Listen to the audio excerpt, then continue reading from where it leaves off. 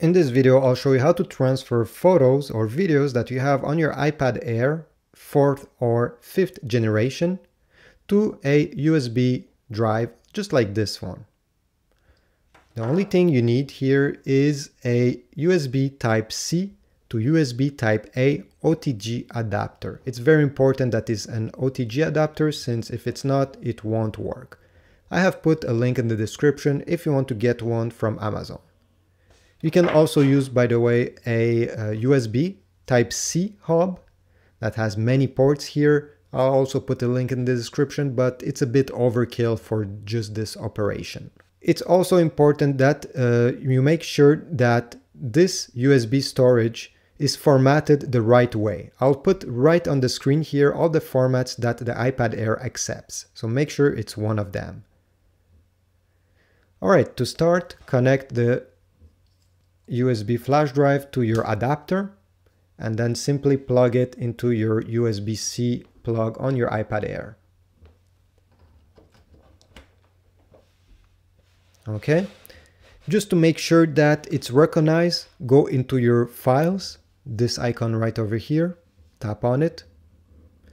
And right here under locations, you should see your USB flash drive. Mine is here, King's 16 gigs. And now go into your photos. Open this. Here you have all the pictures, all the videos you have on your iPad that you took with it. You're gonna press on the select button on the top right corner, right over here. Press on it and select everything that you want to uh, put on your USB flash drive. So let me select a few things.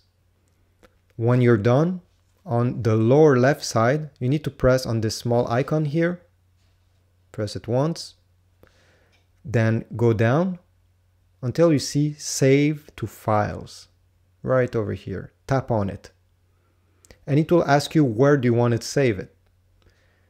You need to tap on your USB flash drive tap on it. And if you have folders on your USB flash drive, you're gonna see them here and you can select them if you want to put them in a separate folder.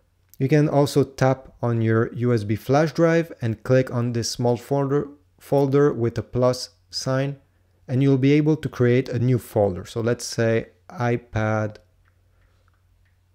folder.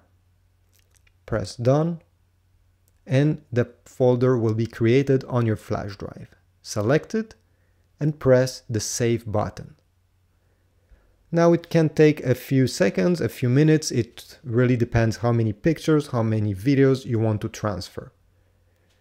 You can see here it's working. You don't have any bar telling you uh, how much percentage is done. You just have to wait. And uh, I'll wait here. It's still spinning. When it will be done, you're going to see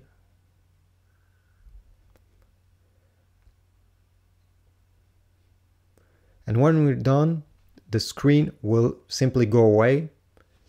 You can go back, go into your files here, go on your USB flash drive, and just to confirm, tap on it, and you should see the pictures and video that you have transferred on it.